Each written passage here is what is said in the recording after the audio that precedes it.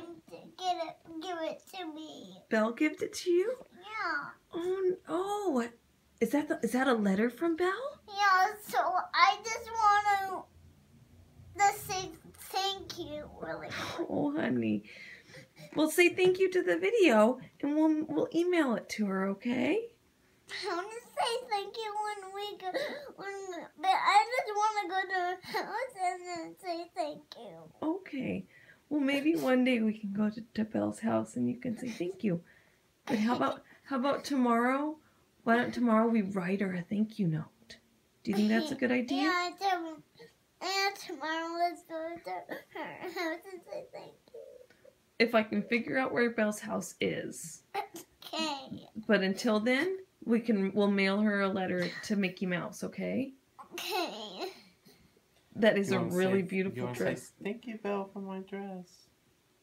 I want to say thank you when we go to her house. Okay, do you want to say thank you to the phone right now so we can email it to her and then we can say thank you when we go to her house? After we write the letter? Uh, sure. Okay. Okay.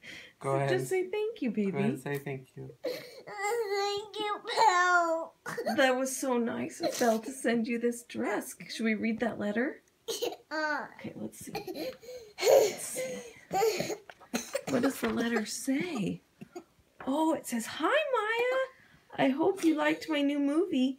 Sleep well tonight. And great job being a big sister for a whole year. Love, Belle. Oh, that was so nice. Now I think it's time to try to rock and maybe go to sleep, right?